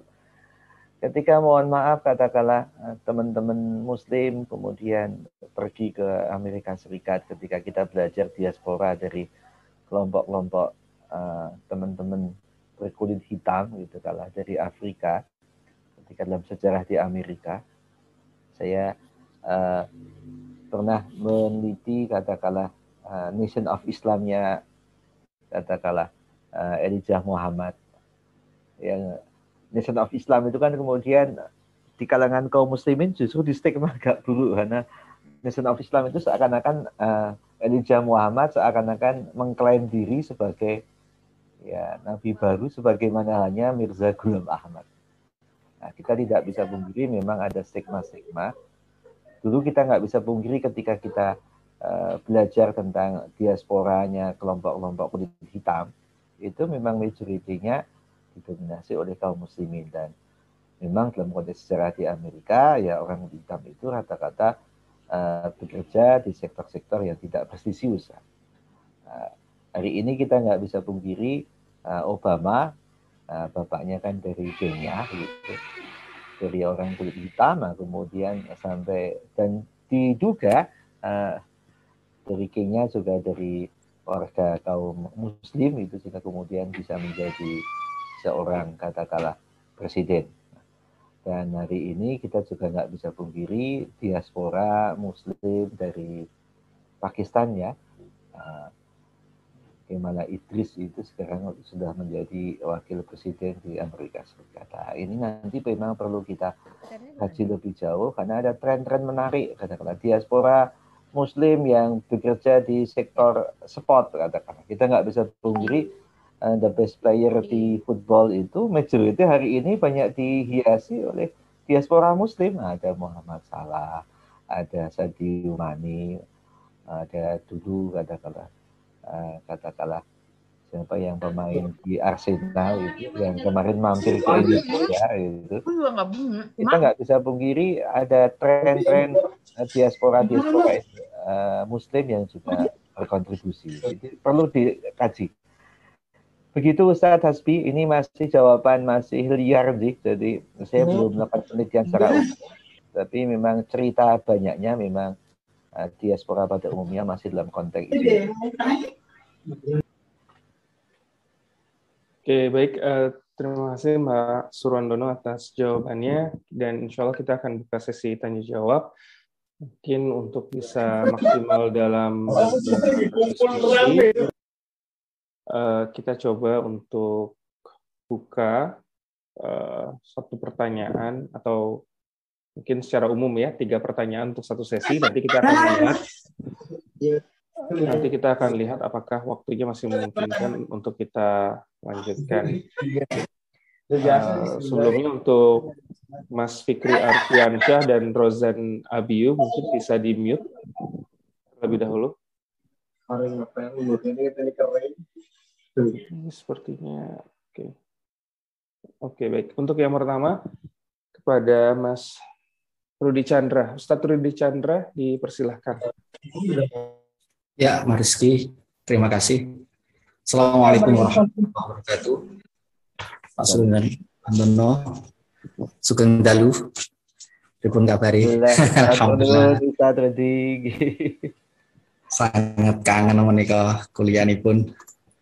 Alhamdulillah malam hari ini eh, sakit uh, belajar dari Bapak Dr. Surwandono Uh, menarik sekali uh, pembicaraan kita hari ini terkait dengan uh, hijrah ini. Saya bisa lebih lebih memaknainya dengan makna hijrah karena lebih dekat sekali. Saya teringat sekali ngomong tentang hijrah ini. Saya pernah menulis uh, Pak Sur terkait dengan sejarah HI Islam. Uh, mungkin ini salah satu kesempatan juga saya berdiskusi dengan Pak Surwandono terkait dengan tulisan saya uh, setiap ilmu, setiap uh, itu memiliki sejarah. Nah, dan saya berusaha untuk berijtihad, bukan berijtihad, berusaha untuk me memberikan sebuah saran bahwasannya hijrah di dalam Islam itu saya maknai juga sebagai awal mula di mana HI Islam itu dikembangkan. Jadi kita bicara tentang hijrah, maka kita bicara tentang sejarah Islam itu sendiri. Kalau Barat punya sejarahnya sendiri, maka Islam dalam konteks hubungan internasional juga punya sejarah dan itu saya uh, tuliskan dalam uh, uh, sebuah artikel uh, bahwasanya hijrahnya Rasulullah SAW dari Makkah ke Madinah adalah tonggak awal daripada sejarah Islam. Nanti untuk lebih uh, lebih detailnya bisa kita diskusikan kembali. Yang menarik lagi dari apa yang disampaikan oleh uh, Pak Suprowandono pada malam hari ini adalah saya kok memahami uh, dalam perspektif uh, diaspora ini dalam pendekatan multi track diplomasi, Pak Surwandono. Uh, saya merasakan sendiri bagaimana realitas masyarakat Islam Indonesia yang uh, banyak tinggal di Mesir dan di Saudi Arabia ini memiliki efek yang dua hal yang sangat berbeda pengalaman kami tinggal di Mesir itu kalau kita bertemu dengan orang-orang Mesir dan kita mengaku orang Indonesia mereka mengatakan ah sanunas ahlan antum ya halwi. Sanunas artinya orang Indonesia itu orangnya baik-baik orangnya eh, bahkan terbaik gitu istilahnya eh, orang Mesir mengatakan. Tetapi sebaliknya kalau kita bertemu dan mengaku orang Indonesia di Saudi maka kita dianggap TKI maaf eh, tidak mengucilkan apa dan mengecilkan makna daripada pekerja kita di sana, tetapi memang berefek kepada negatif. Bahkan saya pernah berdiskusi dengan Bapak A.M. Fakhir, beliau pernah menjadi duta besar Indonesia di Saudi. Beliau mengatakan kalau saya mampu untuk menghentikan keberangkatan orang Indonesia ke Saudi untuk menjadi tenaga kerja, maka saya akan lakukan itu. Karena itu memperburuk citra kita di sana. Nah, artinya dari realitas ini bisa saya simpulkan dan nanti saya minta uh, masukannya dari Pak Suwandono bahwasanya uh, diaspora masyarakat Indonesia atau orang Islam itu harus ditopang eh, dengan ilmu, keilmuan. Artinya masyarakat Indonesia yang pergi ke Mesir itu memberikan citra positif karena yang datang adalah para talibul ilmi. Mereka mempunyai kapasitas keilmuan, mereka di sana mencari ilmu. Sebaliknya, mereka yang berangkat ke Saudi Arabia, dari mayoritas masyarakat kita adalah mereka yang bekerja dalam faktor-faktor non formal bahkan. Nah, ini uh, mungkin uh, uh, perlu di riset lagi, tapi realitasnya memang seperti itu. Uh, bahkan saya pernah meneliti saat S2 dulu tentang peran people to people diplomasi saya menemukan fakta bahwasanya diplomasi Indonesia di Mesir itu sebenarnya dari faktor first track diplomasi tidak begitu sukses sebenarnya. Jadi baiknya hubungan Indonesia dan Mesir itu justru ditopang oleh peran yang sangat aktif dari second track diplomasi dari masyarakat Indonesia yang yang bertindak sebagai uh, pengemban amanat untuk menciptakan dan mewujudkan citra Indonesia yang positif. Ya. Dan dan yang apa uh, ingin saya sampaikan dan saya tanyakan uh, bagaimana uh, pandangan Pak Suwandono dari realitas-realitas yang disampaikan ini? Uh, semoga ini bisa menjadi uh, masukan atau tambahan bahwasannya uh, diaspora itu penting tetapi uh, apa bekal kita watazawadu zat yang kita bawa ini adalah jauh lebih penting daripada sekadar hanya keluarnya masyarakat Indonesia atau masyarakat Islam tanpa kapasitas keilmuan dan citra yang mereka bawa ini sangat berpengaruh bagi citra Islam itu sendiri. Oh alam suat. Jasa khairan atas ilmunya malam hari ini saya minta untuk uh, tanggapan dari hal-hal yang saya sampaikan pada malam hari. Jazakumullah khairan katsiran. Terima kasih Mas Rizky. Baik, terima kasih uh, Ustadz Rudi atas uh, pertanyaan sekaligus apa pendapatnya dan mengingat belum ada lagi yang raise hand, mungkin Pak Sur sembari menunggu bisa langsung menjawab atau memberikan tanggapan terhadap pernyataan uh, Ustadz Rudi. Oh, menurun. Ini Ustadz Covid kayaknya juga mau. Iya, saya baru baru nggak. Uh, atau mungkin karena sudah ini boleh langsung dulu saja Pak Sur. Nanti setelah ini kita langsung ke Mas Covid. Baik. Uh, ini menarik memang posisinya kita tidak bisa pungkiri kalau kita lihat dalam konteks sejarah Islam proses hijrahnya kaum muslimin apakah itu ke uh, katakanlah Habasyah katakanlah ketika itu apakah ke Madinah itu lewat proses fasilitasi katakanlah dari pemimpin tertinggi. Jadi bepergiannya kaum muslimin ketika itu itu terkoordinasi dengan baik. Sehingga ketika menghadapi tantangan adalah ketidakpercayaan dari teman-teman yang mau didatangi itu dikirim seorang special info yang namanya Jafar bin Abi Kita nggak bisa sehingga kehadiran katakanlah negara, mohon maaf, kehadiran negara yang fasilitatif ini di era Rasulullah itu luar biasa. Rasulullah itu mengirim seorang pemimpin Jafar bin Abi Talib yang memang memiliki kapasitas yang luar biasa untuk katakanlah memberikan informasi yang proper, yang layak, yang benar tentang Islam. Sehingga kemudian eh, ini bisa menggagalkan upaya orang-orang kaum uh, Quraisy lewat uh, Amr bin As yang hendak kemudian mencitrakan buruk hijrahnya kaum muslimin. Demikian juga ketika Rasulullah itu hijrah ke ke Madinah. Itu juga ada proses fasilitasi yang luar biasa. Nah, ini berbeda dengan katakanlah fenomena, mohon maaf ya, fenomena diaspora muslim pada umumnya bepergiannya uh, diaspora muslim ke di dunia memang saya belum melakukan penelitian secara secara detail tapi kita tidak bisa pungkiri katakanlah dalam konteks studi di Malaysia itu jumlah ilegal migran dengan legal katakanlah diaspora itu jumlahnya lebih banyak ilegal migran ilegal diaspora Indonesia itu jauh lebih banyak ketimbang legal diaspora. Ini artinya apa? Proses keluarnya kaum muslimin dari negara masing-masing, apakah untuk mencari nafkah, apakah untuk mencari pendidikan atau yang lain, itu masih katakanlah less facilitation from state, from government. Ini yang perlu kita perbincangkan dengan dengan serius kita mendorong kepada semua negara Muslim ini memperhatikan ini secara serius. Karena proses hijrah selama ini dalam konteks tradisi Islam itu hijrahnya itu well coordinated. Kita nggak bisa pungkiri.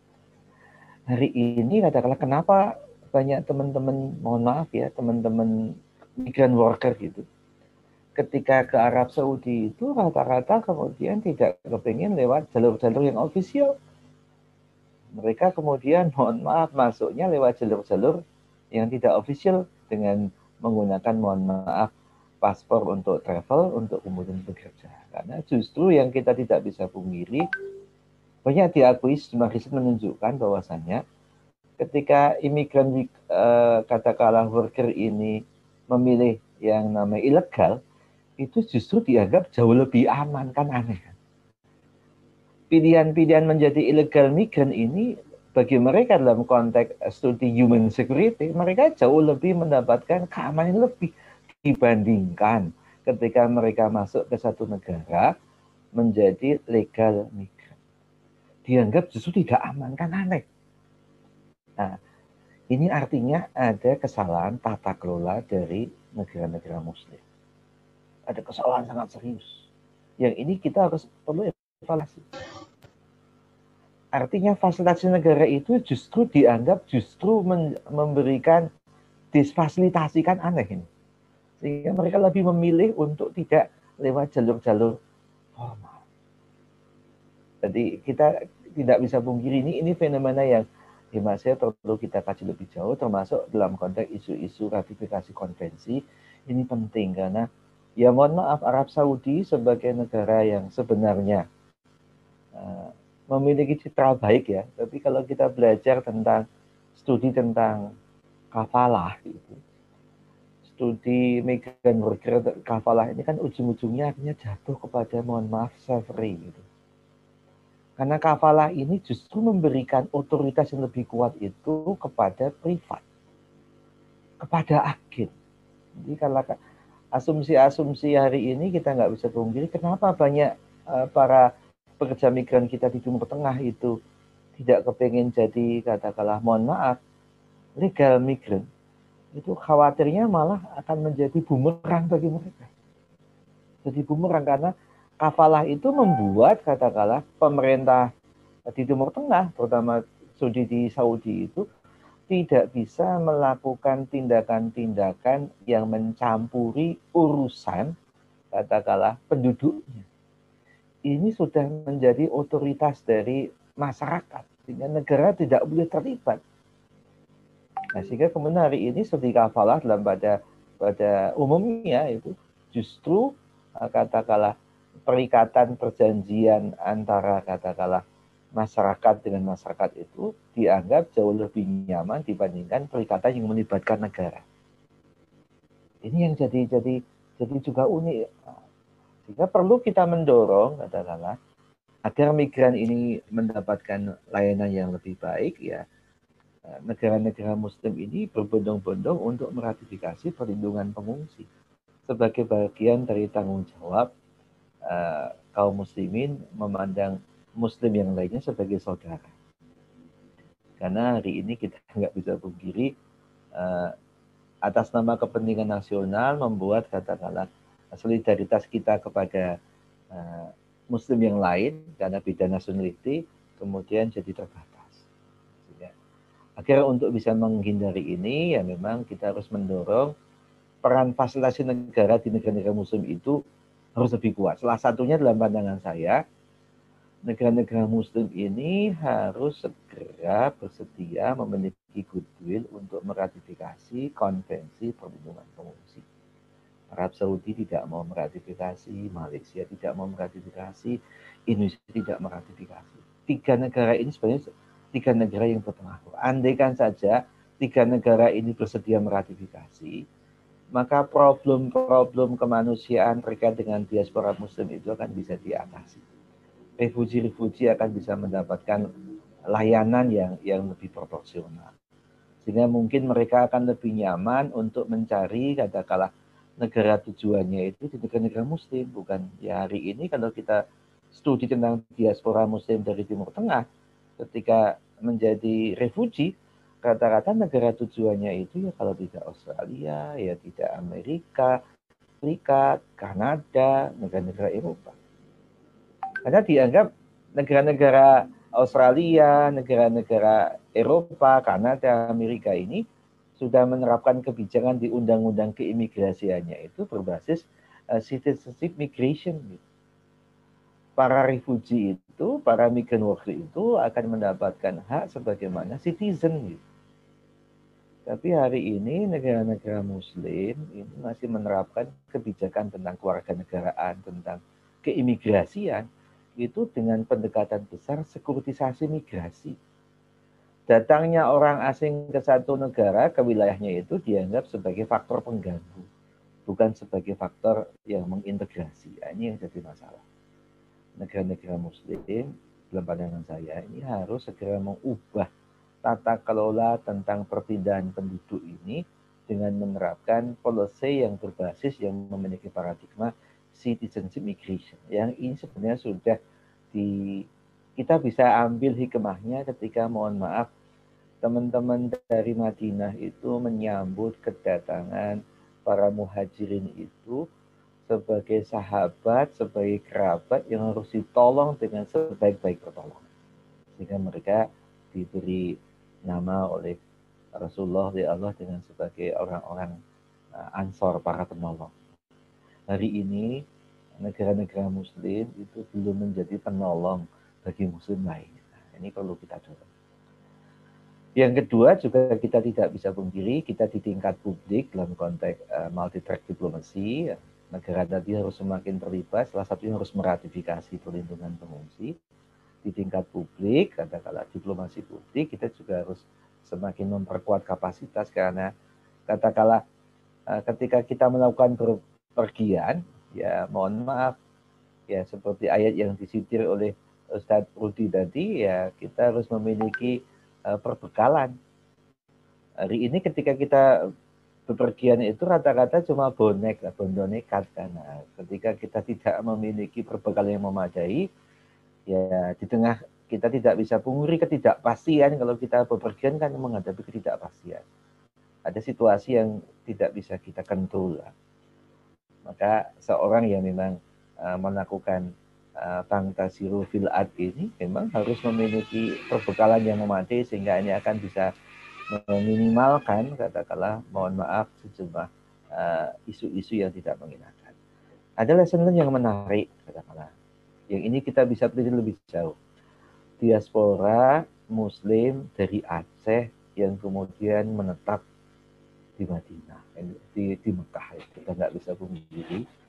Setiap jamaah haji dari Aceh ketika musim haji itu rata-rata mendapatkan tambahan uang living cost sebesar katakanlah plus minus 1.500 real atau setara dengan plus minus 6 juta.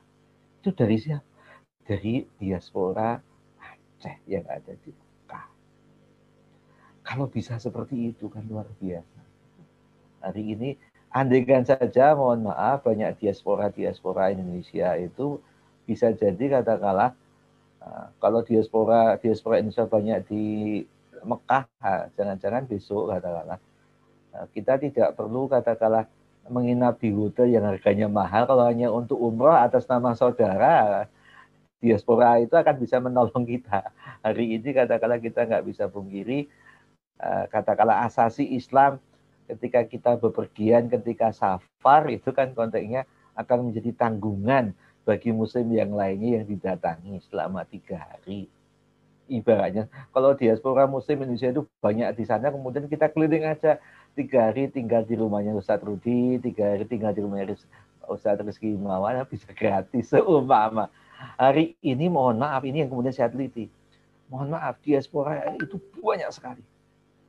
Tapi tidak ada kepedulian baik oleh negara baik oleh lembaga-lembaga yang ngurusi tentang migran care untuk bicara tentang big tidak ada sistem informasi diaspora. Saya meneliti ini agak aneh. Spanyol itu tahu diri. Karena banyak diaspora Spanyol yang ada di Amerika Latin. Mereka memiliki sistem informasi diaspora. Indonesia itu punya diaspora yang banyak sekali. Tidak ada sistem informasi diaspora. Yang ada hanya kartu diaspora. Itu aja katalah diaspora Indonesia itu jumlahnya jutaan. Studi terakhir siapa yang bersedia mengisi kartu diaspora itu. Mohon maaf, nggak ada yang namanya 100 ribu. Studi terakhir tahun 2017 itu yang bersedia mengisi kartu diaspora Indonesia gitu. Orang Indonesia bersedia mengisi kartu diaspora itu. Nggak lebih dari katalah 10 ribu. Nah, ketika saya tanya sama Bu Baik, karena lebih banyak tinggal di eh, Taiwan daripada di Surabaya, Bu Baik itu. Bu Baik, apakah Ibu pernah mengisi kartu diaspora ketika dalam sebuah pertemuan di AIHI. Apa Pak Sur? Saya nggak pernah tahu itu bayangan. Well educated people yang tinggal di di Taiwan bertahun-tahun itu sampai ya orang HI sekalian. Beliau kan eh, dosen HI senior dosen saya ketika dia kenal Saya juga nggak tahu kartu diaspora programnya seperti apa. Ini kan menunjukkan bahwasanya uh, pemerintah bisa jadi hampir semua pemerintah di negara-negara Muslim ini belum memiliki kartu diaspora. Saya melakukan searching di, di website. Saya ketemu sejumlah di Filipina sudah ada, kemudian di Spanyol sudah ada. Indonesia itu lima besar kartu dia, eh, diaspora, tapi tidak memiliki sebuah sistem informasi diaspora. Ini sudah saya mau usulkan kepada Kemenlu, sudah ketemu dengan Pak uh, Dirjen katakanlah perlindungan WNI. Ketika kemudian saya sampaikan, saya sudah keliling ke Malaysia, saya sudah keliling ke Hong Kong di mana ada alumni-alumni yang kerja di uh, konjen itu. Ya Pak, tapi posisinya ini otoritasnya ada di Kemenlu. Ketika kita diskusi dengan Pak Ayuda Nugraha itu posisinya ini belum jadi pikiran kita ya Pak. Kalau nanti memang mau diusulkan, nanti ini harus menunggu uh, persetujuan dari minimal enam dirjen Pak baru nanti ini bisa. Dan nanti akan akan saya hibahkan penelitian saya ini kan didanai sama Dikti. Besok kalau jadi akan saya hibahkan surat Kemenlu apakah mau dipakai atau enggak ya itu no, nanti Pak pasti gitu. Nah, ini kan menunjukkan bahwasanya eh, kita di kalangan akademisi sudah memiliki aware untuk membantu, tetapi dalam konteks uh, policy itu kan ada di eksekutif.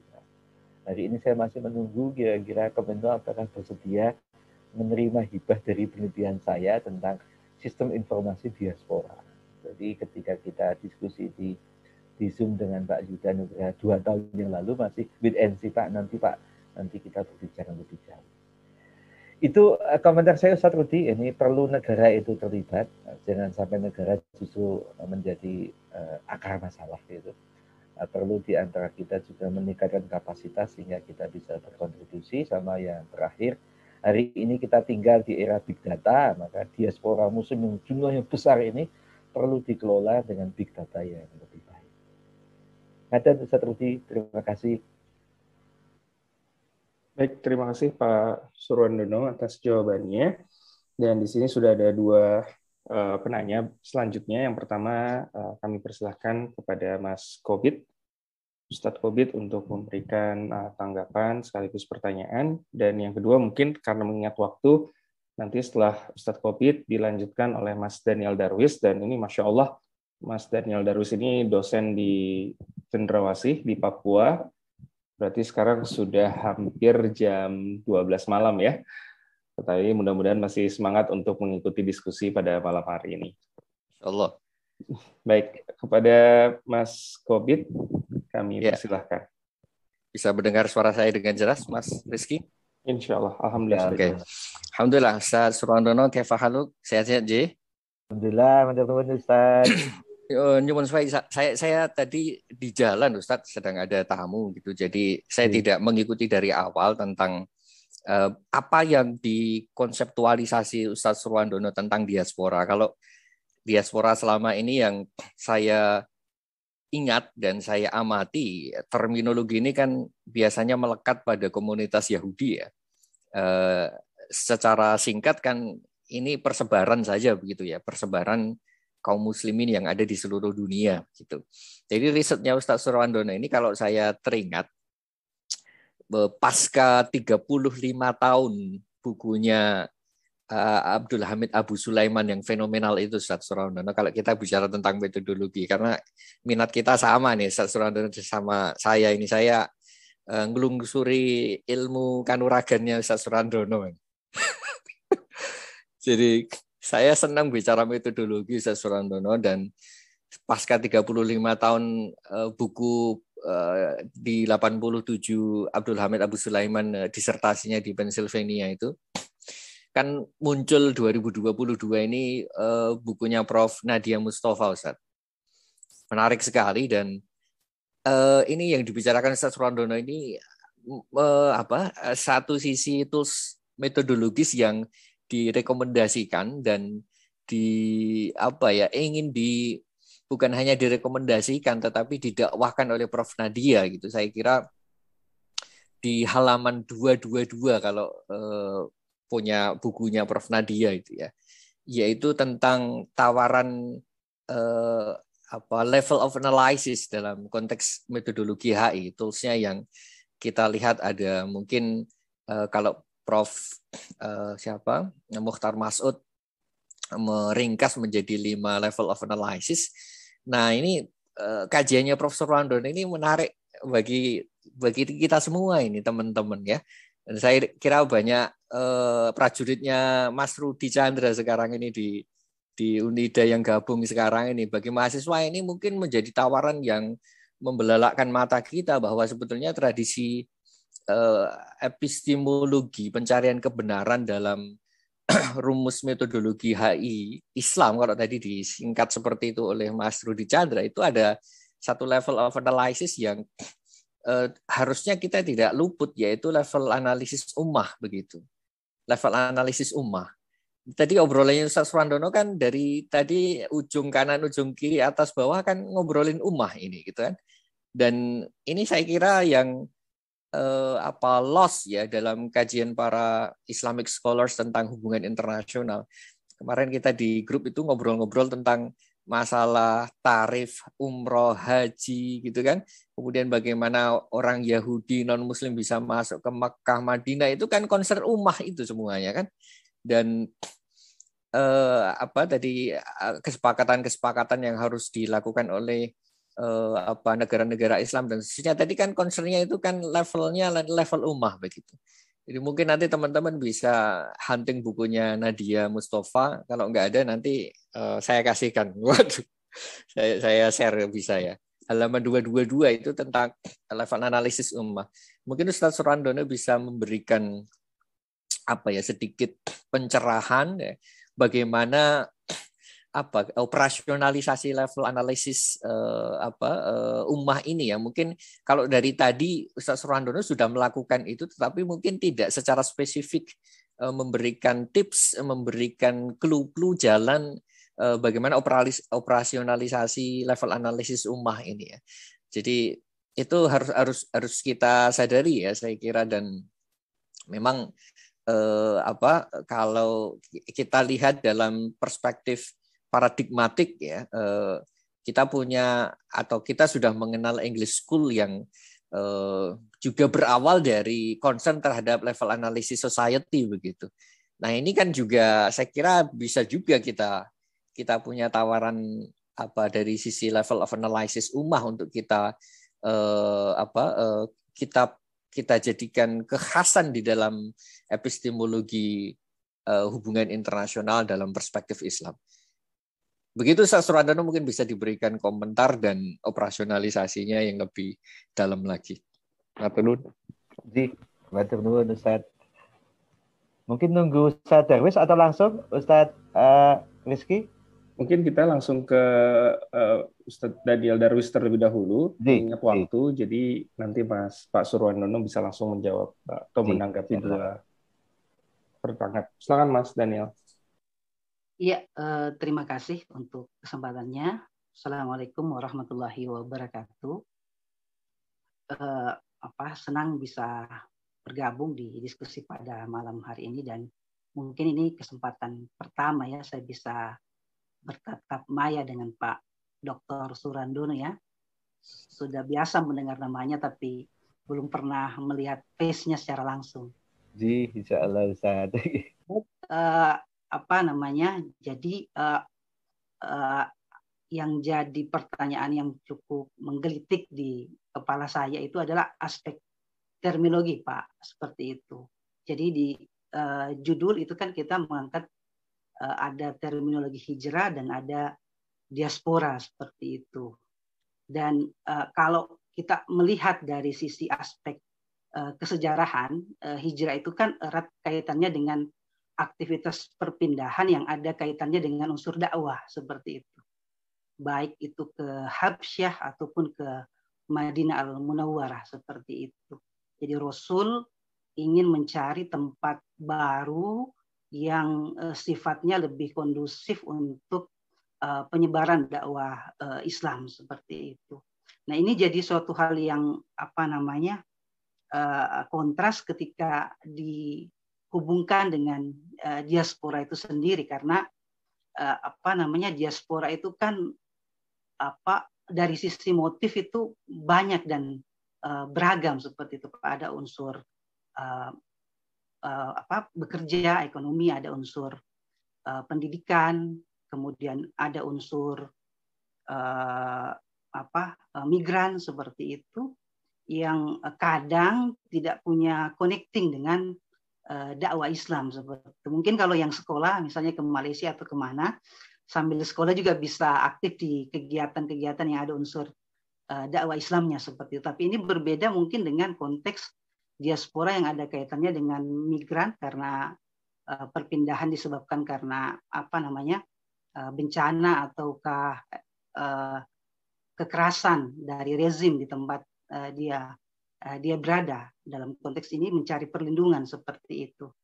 Dan uh, aspek terminologi ini yang kemudian jadi hal yang apa uh, mungkin perlu dilihat. Apakah memang diaspora itu hanya diangkat sebagai suatu bentuk terminologi untuk bisa mendekatkan makna hijrah itu agar agar bisa masuk dalam konteks kajian HI seperti itu? Karena uh, apa namanya hijrah itu kalau memang kalau kita lihat dari sisi sisi historisnya dan makna syar'inya itu erat kaitannya dengan aktivitas penyebaran dakwah Islam bukan karena uh, traveling tadi jalan-jalan dan sebagainya seperti itu.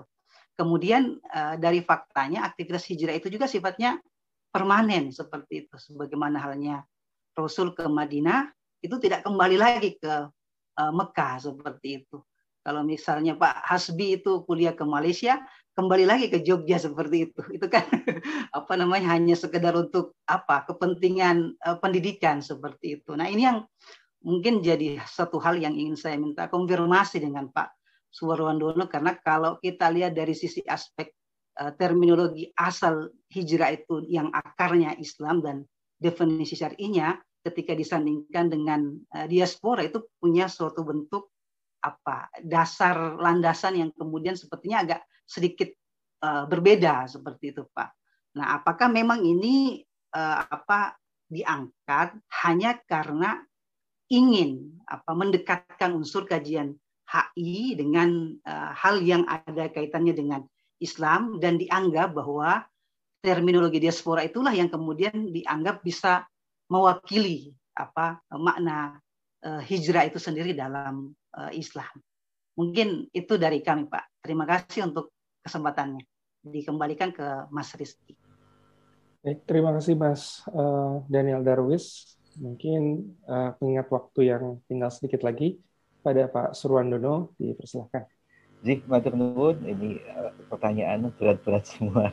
Ji, insya Allah saya coba jawab semampu saya di Ustadz uh, COVID sama Ustadz Daniel Darwis. Yang pertama untuk Ustadz Covid sesungguhnya kalau kita baca bukunya Pak Muhtar Maskud uh, tentang katakanlah level analysis sama analysis itu kan banyak mengutip dari bukunya Patrick Morgan gitu ya. Nah, kita nggak bisa pungkiri ada namanya uh, analisis itu bisa sampai kemudian di tingkat sistem. Ini yang memang harus kita kelola lebih jauh. Karena hari ini ketika kita bicara gagasannya Patrick Morgan, sistem itu kan ujung-ujungnya kita akan banyak bercerita tentang international regime. Kita bicara tentang uh, global governance. Nah, kita nggak bisa pungkiri terus terang uh, Muslim governance ini mohon maaf sedikit sekali. Kalaupun ada itu mohon maaf ya. Uh, dua minggu yang lalu saya mencoba melakukan penelitian sederhana tentang OIC. OIC ini sebenarnya sebuah uh, internal institution yang sebenarnya nanti mewakili aspek ummah ya kita nggak bisa pungkiri sejarah sejarah kelahiran OIC ini luar biasa. Itu bisa membangun yang namanya international solidarity. Ketika itu sih luar biasa. Tetapi hari ini katakanlah kita nggak bisa pungkiri memang OIC produktif menghasilkan resolusi. Produktif, dikit-dikit buat resolusi, dikit-dikit buat resolusi. Tapi ujung-ujungnya hanya menjadi OIC, ya OIC tidak dilaksanakan. Ya ujung-ujungnya ya mohon maaf kita hanya intakulu manataf alun ya kabura maktan indallahi antakulu manataf kita nggak pasti rugi ternyata OIC itu produktif membuat resolusi tetapi tidak ada yang namanya compliant burden tidak ada yang namanya ya ayyuhalladzina amanu aufu bil uqud itu nggak ada. Ini kelemahan kita bersama. Sehingga ketika kita bicara tentang konsep ummah itu hanya cenderung di awang-awang. Hanya di tingkat normatif. Sehingga kemudian hari ini kita nggak bisa pungkiri Islamic solidarity itu katakanlah kalau kita bicara tentang uh, Islamic solidarity kita anggap yang paling apple to apple katakanlah. Ada namanya uh, Olimpik kan Olimpik ini kan universe ketika ada namanya uh, uh, Olimpik Muslim uh, Olimpik Muslim itu Olimpik Muslim Game gitu katakanlah. Kan ada Olimpiade negara-negara Muslim itu ternyata tidak apple to apple, tidak ada solidaritas yang luar biasa sehingga nggak nggak bisa mendrive. Ini yang perlu kita kaji. Ternyata katakanlah ketika kita bicara umat itu posisinya, mohon maaf itu tidak ada sinergi antara katakanlah uh, kita bicara tentang uh, unit analisisnya dari apakah individu, apakah itu dari masyarakat, negara bangsa, kemudian pengelompokan negara sampai ke sistem itu nggak ada sinergi.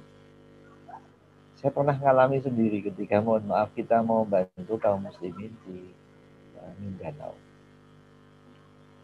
Ya hanya perkara teknis kemudian uh, Muhammadiyah uh, melakukan upaya serius untuk memberikan bantuan kemanusiaan kepada kaum di Mindanao karena pemerintah Indonesia lebih prefer untuk membantu teman-teman MLF, maka kemudian begitu Muhammadiyah memfasilitasi MLF, ya nafsi-nafsi ya Muhammadiyah, Muhammadiyah jalan sendiri, uh, pemerintah juga jalan sendiri. Itu yang terjadi.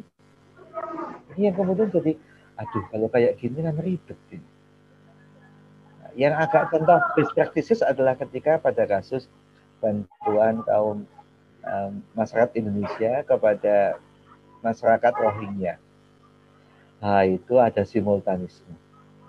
Bantuan Indonesia, masyarakat Indonesia itu jauh lepat, jauh lebih cepat kemudian sampai ke Rohingya karena fasilitasi dari pemerintah. Dan pemerintah sudah bersyukur. Wah ini sudah ada donasi luar biasa dari aliansi kemanusiaan untuk Rohingya ketika itu bisa segera disampaikan. Karena kalau menunggu dana dari pemerintah kan lama ada proses birokrasi yang diserahkan sama Bu Retno Marsudi ketika itu pertama kali kan dana-dana yang dikumpulkan dari aliansi kemanusiaan. Nah, ini ada simultanisme. Tapi banyak hal yang belum simultan. Ini ini perlu jadi PR kita bersama. Jadi memang kita perlu merevitalisasi sejumlah international institution agar kemudian international regime itu bisa bisa efektif. Sehingga kita tidak hanya menjadi ya ya angkatulu malah tafalu. Karena di dalam ayat ini kan yang diseru itu mohon maaf bukan bukan orang-orang kafir. Ya ayyuhalladzina amanu. Lah ini kan berarti Allah itu memang sedang memerintahkan. Ini banyak orang orang-orang beriman itu ternyata mohon maaf uh, hanya bisa berbicara tapi nggak bisa ngelakonnya orang Jawa mengatakan jarkoni iso ujar yang iso ngelakon ini kan masalah ini perlu serius untuk dikelola agar kita benar-benar menjadi uh, dalam bahasa Ustadz Kopi tadi kita bisa menjadi khairul ummah.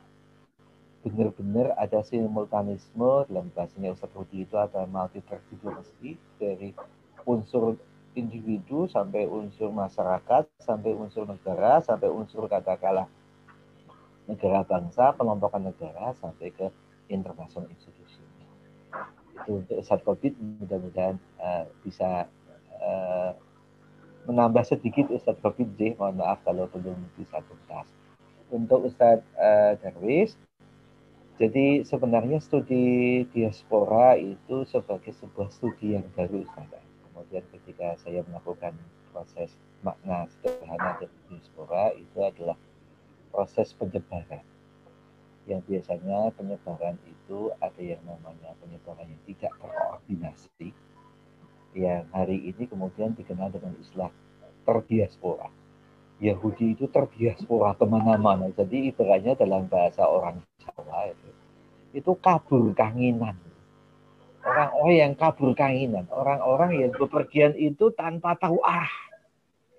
Jadi ibaratnya diaspora Yahudi itu ketika orang-orang Yahudi terusir dari Timur Tengah itu pergi ke mana-mana itu tidak well coordinated.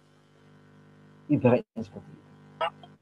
Nah, hari ini sudah mulai ada upaya diaspora itu untuk dikoordinasi. Hari ya ketika kemudian saya melacak di Quran, kita tidak bisa pungkiri ada terminologi hijrah itu memang kita sebut well coordinated ibarat well coordinated seperti ketika Rasulullah mengirim eh, kelompok-kelompok ke Habsyah tadi sama ke Madinah itu well coordinated. Tapi ketika kita melacak sejumlah ayat-ayat yang lain, seumpama katakanlah surat Al-Jum'ah itu kan juga proses untuk Fa'idha qudiyadis salah fantasiru fil ardi wabtagu min fadlillahi wadkhulu kasir la'alakum tuflihun. Ini proses yang sifatnya katakanlah sangat umum di mana kemudian jadi sangat aspeknya sangat individual gitu.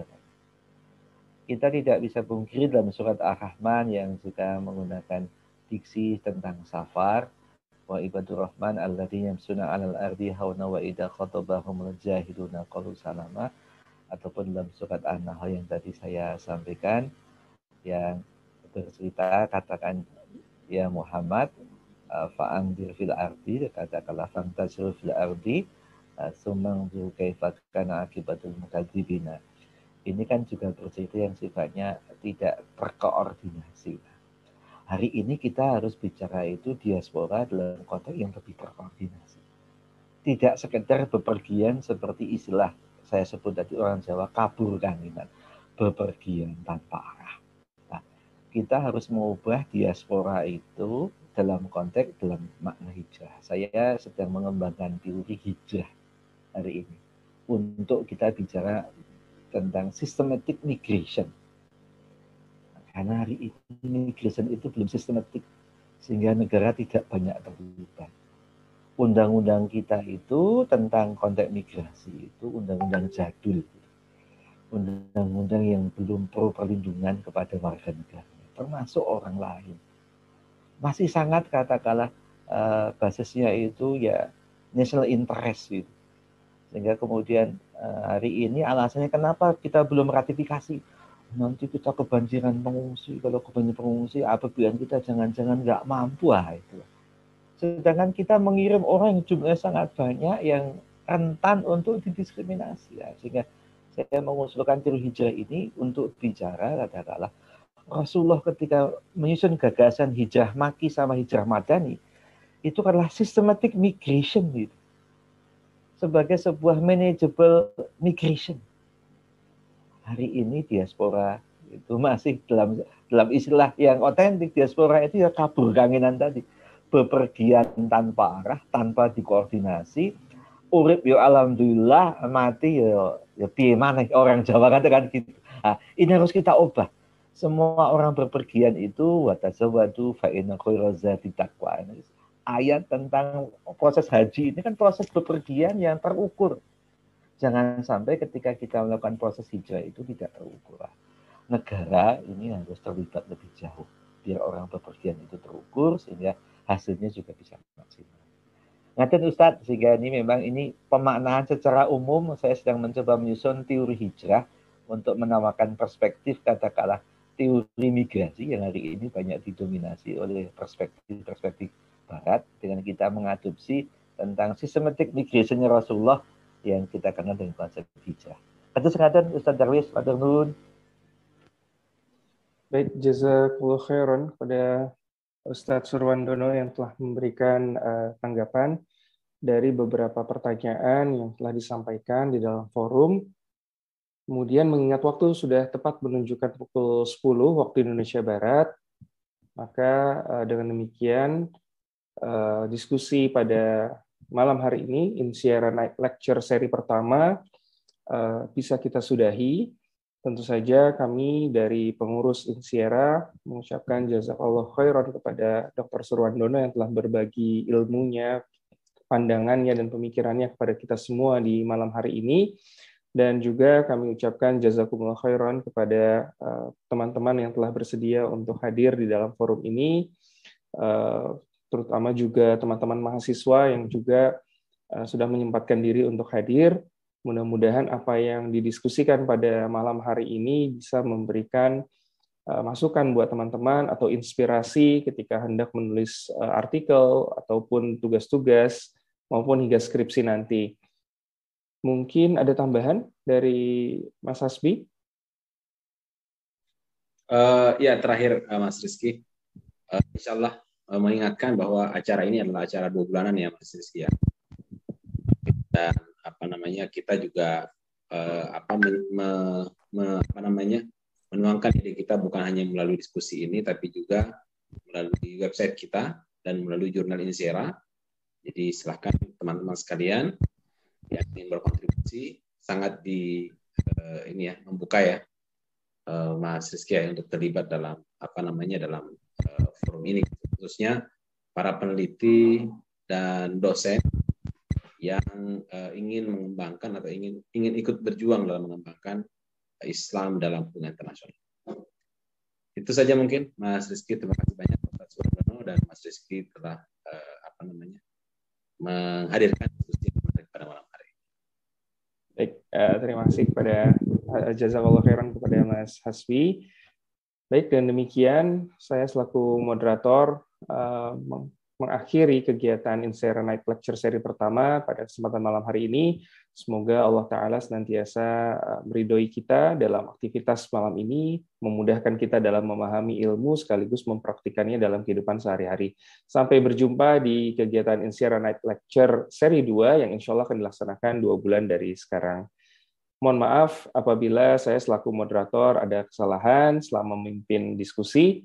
Insya Allah kita akan bertemu lagi dan kira-kira punchline terakhirnya apa nih Mas Hasbi? Mas Kabit? Belum ada ya? Baik, mungkin itu saja. Barakallahu fikum. Assalamualaikum warahmatullahi wabarakatuh. Waalaikumsalam. Waalaikumsalam. Mohon pamit Ustaz. Selamat datang.